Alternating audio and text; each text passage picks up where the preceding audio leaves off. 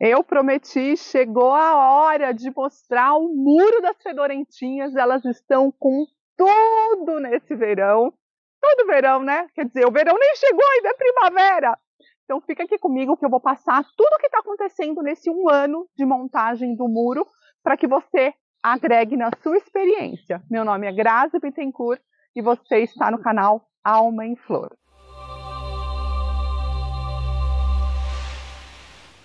Estou começando aqui do início do muro, vou até lá no final mostrando uma por uma. Mas eu tenho uma pergunta para você. Você coleciona fedorentinhas? Deixa aqui nos comentários para mim. Sabe por que elas são chamadas de fedorentinhas? Que nome mais pejorativo, né? Será que faz jus? Deixa aqui para mim nos comentários. E eu quero te convidar a me seguir na minha conta no Instagram, que eu vou deixar aqui para vocês. Por quê? Porque toda vez que tem uma foto que alguma flor abre, eu posto no meu Insta e as flores são lindas. Vale a pena dar um pulinho no Instagram para apreciar a foto, dar aquela curtida e compartilhar com a turma. Tem uma novidade estou preparando, fazendo mudas de fedorentinhas e de fedorentinhas diferenciadas para vocês, para poder, para o ano que vem. Para agora eu ainda não tenho, porque elas estão sem raiz. Mas para o ano que vem a gente vai ter. Então corre lá no Insta, começa a me seguir, que a gente vai é, começar a trabalhar com fedorentinhas e algumas plantas diferentes. Tudo vai estar no meu catálogo, ou então vocês basta me chamar no WhatsApp, tá bom, gente? Bora lá que eu vou começar a mostrar por que, que esses vasos aqui ainda estão vazios. Então vamos lá. Olha só, aqui eu tenho três vasos, meia cuia, é, de parede, boca 21. Por quê? Você fala, Grazi, mas Fedorentinha não gosta de vaso pequeno? Sim, mas algumas têm o corpo vegetativo grande, robusto e precisam de um vaso maior. Mas são pouquíssimas as que se encaixam nessa condição. Não deu tempo ainda de plantar, gente. Tá uma loucura aqui na Alma em Flor. E olha só, eu tenho um muro enorme para mostrar para vocês. Então vamos lá. Uma coisa que tem acontecido muito aqui, passarinho tirar minha plaquinha. Aqui eu tenho um Piaranthus atrosanguíneo, que olha, demorou para essa muda ficar bonitinha assim, e nem bonitinha assim tá porque ela estava muito desidratada, ela se hidratou por aqui e ela vai começar a crescer. Já está soltando brotinho bonitinho aqui na ponta, tá? Então dessa daqui não tenho muito para falar. Essa daqui dá uma flor espetaculosa. Tá indo super bem no Tivira Linda. Essa é a ideia dela. E nada aconteceu com ela.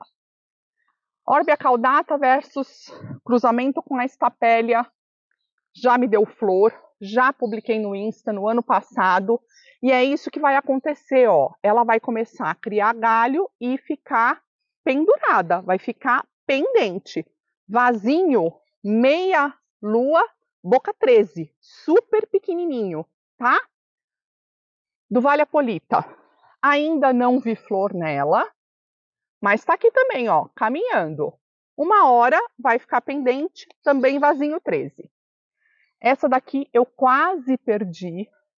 Olha o cotoquinho que sobrou, mas resistiu e está indo super bem aqui no Tivira Linda. Quando eu plantei, plantei um substrato típico de suculenta, vaso que não respira. Óbvio que com o tempo, sol, chuva, sol, chuva, eu vou ter que trocar esses vasinhos, porque eles vão acabar ressecando.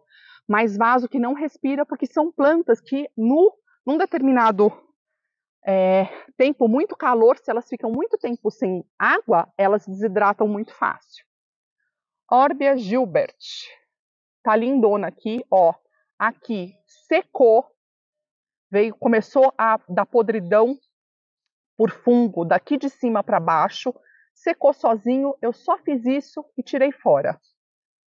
Ó, hastezinha que não deu certo, mas elas reproduzem muito rápido e, de modo geral, não dão BO, não, não são chatas. Essa eu perdi, a Orbia variegata negra, mas eu já comprei uma nova muda para repor aqui. Não sei dizer nem como foi, porque eu não percebi. Aqui eu tenho a estapélia cedrimontana. Tô doida para ver a flor dela. Ela é maravilhosa, mas ainda não vi. E o que eu tenho observado nesse pedaço do muro, que eu não tenho nenhum tipo de vaso em cima, o mato não está me dando trabalho. Aqui eu tenho a Roernia Valcarte, é, SSP Volcarte, ainda não vi flor nela, mas ó, tá super bem, já dá até para eu tirar hastezinha para fazer muda. Aqui eu tenho a Transvalensis híbrida, acho que já vi flor nela, ó.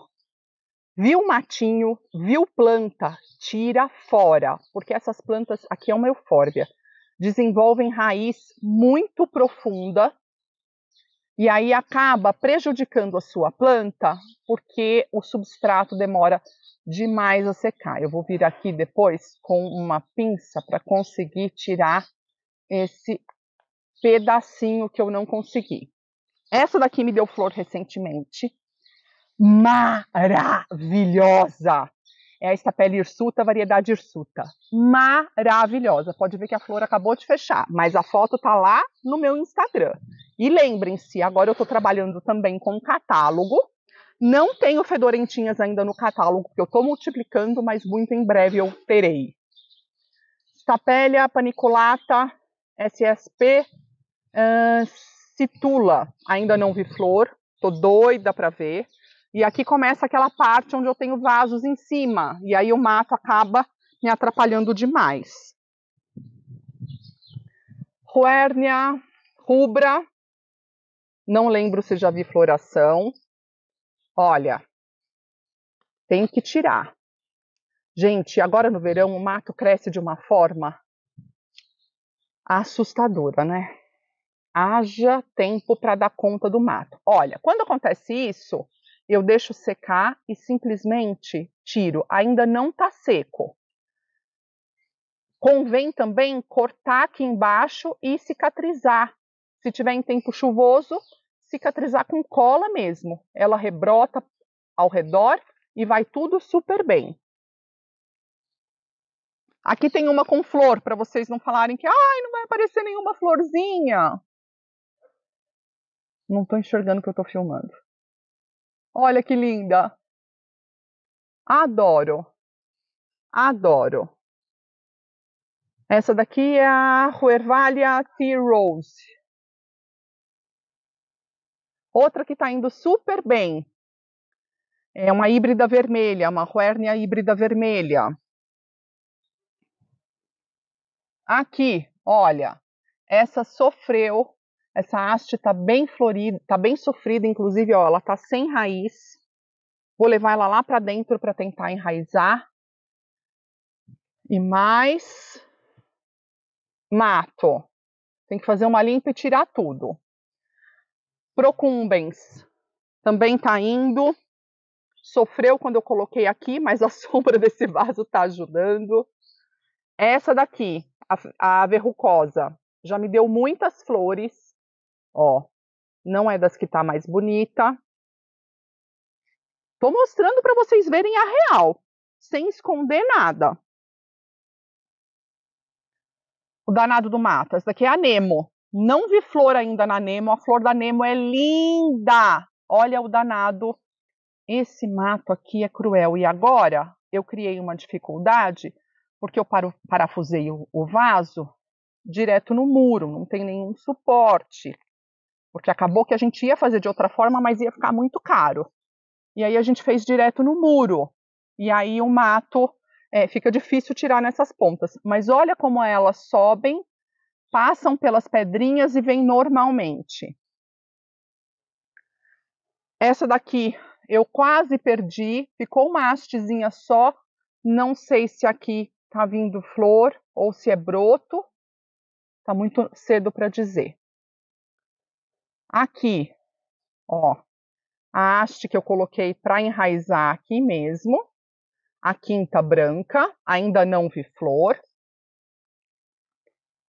Lute a vaga, também ainda não vi flor. Mas te convido a ir para o meu Insta, porque tem muita flor lá. É, Orbia cooperi, não lembro se já vi flor nela. Aqui, essa 33, não vi flor, quase perdi. Enraizei um pedacinho da haste aqui, deu certo, ela tá vindo bonita. Aqui a Orbia laticorna, ainda... Ai, vai vir flor, ó. Aqui na ponta, deixa eu dar um zoom. Aqui na ponta do meu dedo, da minha unha, botõezinhos de flor. Logo vou descobrir qual é a flor. Uh, essa aqui é uma bem comum, linda, linda, linda. Frere indica com a caraluma, que eu esqueci o nome agora, é um cruzamento, é uma híbrida, dá uma florzinha vermelha linda, linda, linda. Aqui, a, a Huervalia White Eyes. Publiquei recentemente foto dela no Insta. Tanganenses. Não, tanganiquenses. Perdi e muito provavelmente foi o mato. Ok? Ó, mato. E a gente tem que tirar com a raiz, senão a gente só tá fazendo poda. Aqui é a Balianthus prognatus. Aqui, perdi e muito provavelmente foi o mato. Ó, olha o que o mato faz. Olha o novelo de raiz. Ó, tudo raiz no mato. Olha só. Percebe por que é importante tirar? Porque senão a gente perde a planta, porque não sobra nutriente, fica muito tempo molhado. Essa daqui é maravilhosa, estou esperando a floração dela para mostrar para vocês. É uma das que eu amo demais. Huernia ploes, ploesse, não sei como fala. Aqui eu tenho a Keniensis é, com a Keniensis. É outra que dá flor linda e vai vir flor aqui. Não, já veio. A flor tá fechadinha, eu acho. Ó, o mato. Então a gente tem que fazer essa manutenção, essa limpeza. Com pinça é muito mais fácil, claro. E eu não tirei o danado. E tem mais aqui atrás, vou ter que vir aqui. Semota. Já me deu flor, tá no Insta. A lipedicola de semente ainda não lembro se deu flor. Tantas já deram flor, mas eu não tenho tudo de cabeça, né? E olha, ela vai andando. O último brotinho dela tá aqui. Essa daqui é Stapelianthus hard, clone 2. Ainda não vi flor nela. Tô curiosa para saber a cor. Red Belly, já vi flor e é maravilhosa, num tom de amarelo lindo. Uh, Orbia McDougall, Clone 2, ah, não lembro de ter visto flor, também tá indo bem. Tô doida para ver flor dessa, porque a flor é bem escura, mas ainda não deu flor. Tá crescendo, tá vindo brotinho, o brotinho vem de lá de baixo, super bem saudável. Deixa eu tirar essa praguinha aqui. Mas ainda não vi flor. Berlinenses, olha como tá linda. Olha que vegetal exuberante mas ainda não vi flor. Também não vi flor nessa daqui. Olha o mato. Não é mato, aqui é uma família das eufórbias, segundo me falaram. Mas tem que tirar. A flor dessa daqui, essa aqui eu acho o vegetal mais bonito que a flor. Acho uma graça ela, toda peludinha assim, né? Parece espinho, mas não, não machuca em nada. Essa daqui eu tô doida para ver flor. Órbia melanta com a estapela hirsuta. Tô doida, doida, doida. Não vi flor ainda. Olha só. Calanchou e praguinha.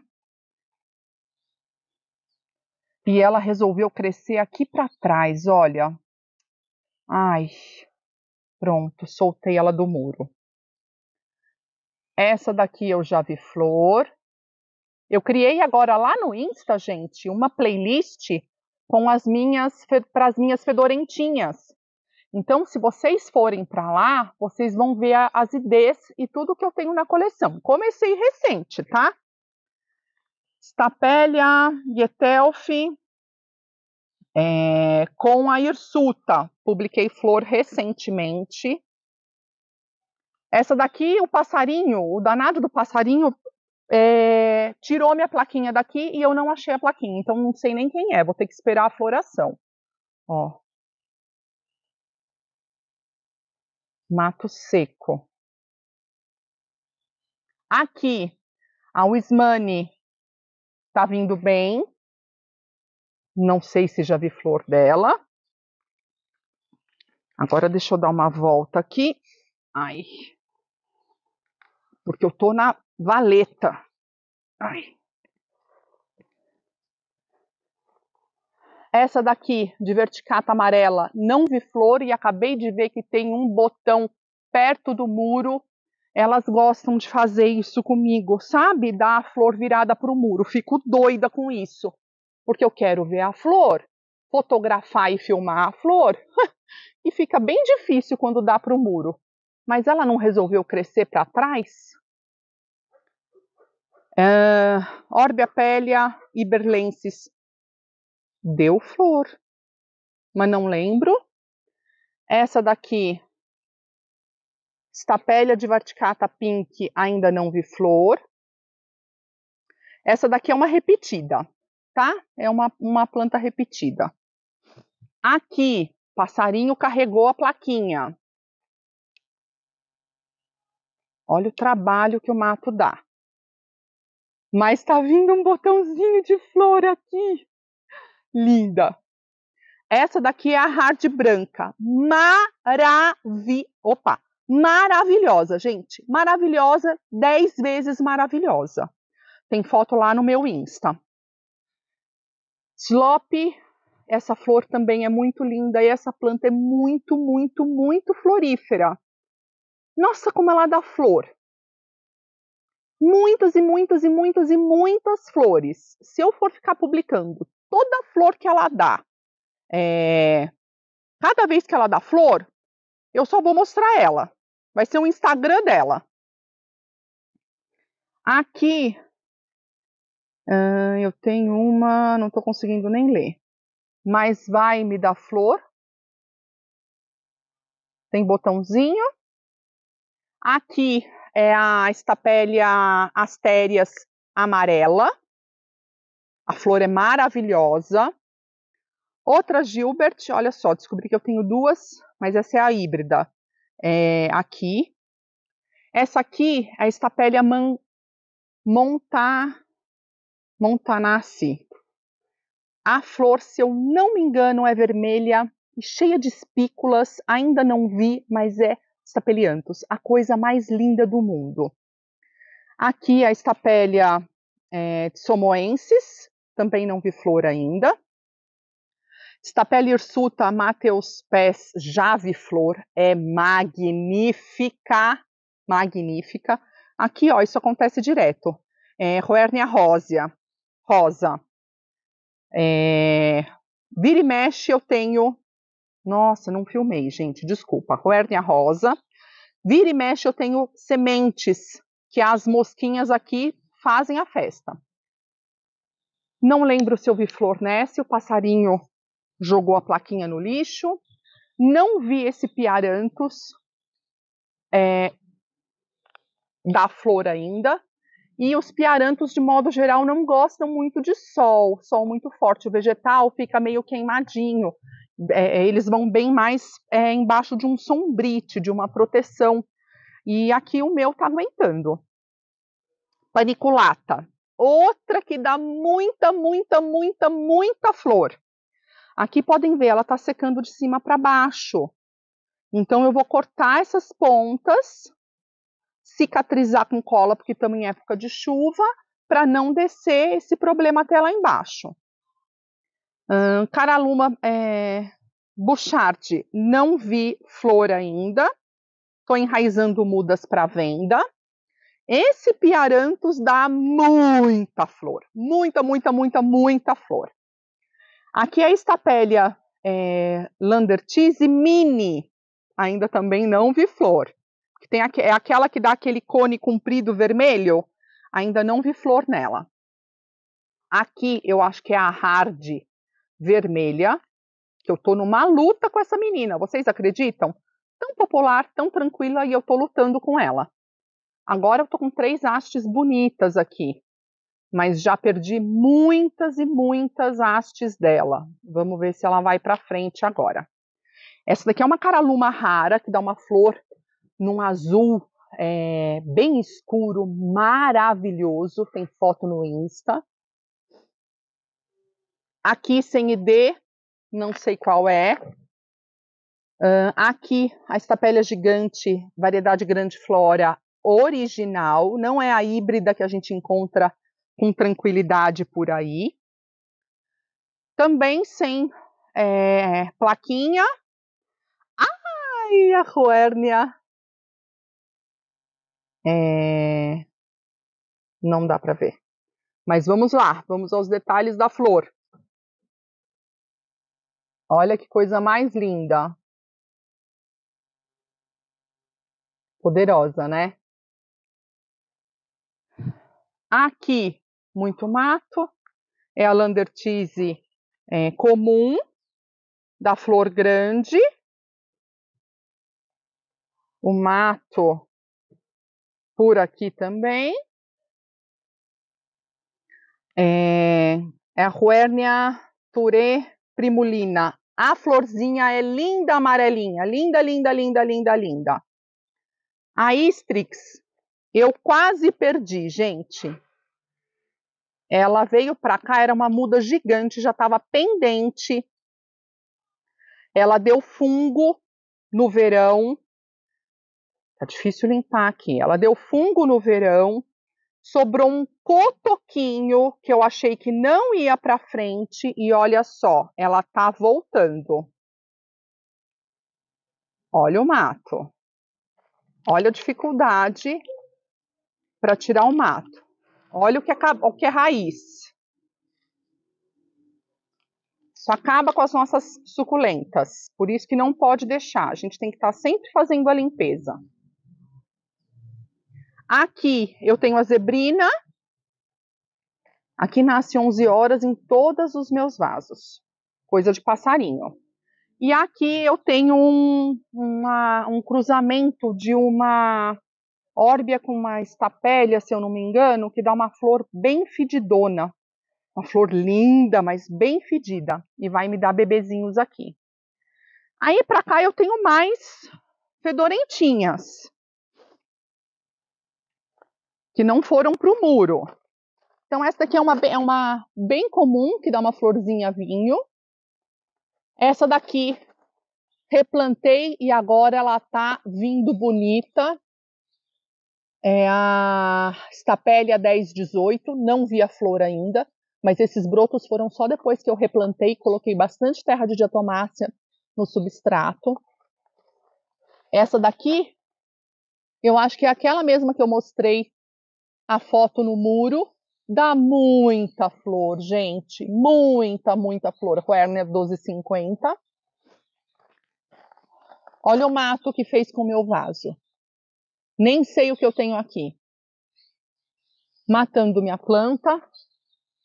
Aqui para cima eu tenho a Stapele hirsuta clone 1. Aqui eu tenho a desmentiana que é magnífica e vai me dar florzinha. Para cá eu tenho a Stapelia Getlef, que é maravilhosa. Meu Reels da flor dela viralizou. Tá lá no Instagram. Para cá tem mais. Aqui eu tenho um vaso com três espécies. Aqui é uma caraluma. Caraluma é, Fol, é, Folkeri Delbossi, Delbosch. Aqui eu não sei quem é, e aqui é talvez Caraluma umbelata, não sei. Essas duas não deram flor ainda. E tenho a Tanganensis aqui que dá uma flor lindíssima, lindíssima. De modo geral, eu acho que eu estou tendo bastante sucesso na minha mureta. As dificuldades realmente são remover os matos, isso é algo que está sendo difícil, Mas tirar mato de vaso tirar é difícil e chato em qualquer lugar.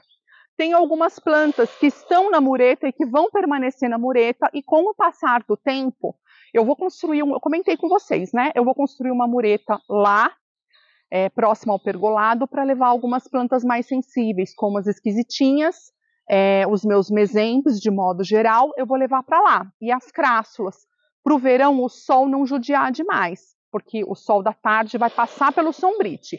E vou fazer aqui mureta de fedorentinha. Por quê? Porque eu vou fazer mudas extras para mim, porque quem tem um não tem nenhum, então é melhor ter dois vasos de cada, ou pelo menos daquelas que são mais caras. Que as fedorentinhas a gente encontra vasinhos por aí custando 15, 20 reais, mas também tem aquelas que custam mais de três dígitos cada muda, normalmente de uma haste. Então, essas mais valiosas, mais caras, difíceis de achar, eu vou criar vasos aqui para cima. Corram no meu Insta, deixem aqui nos comentários se vocês têm ou não fedorentinhas e se vocês gostam dessa coleção. É um nicho muito específico, mas que eu estou entrando com os dois pés. Espero que tenham gostado. Um super beijo no coração e até a próxima. Tchau!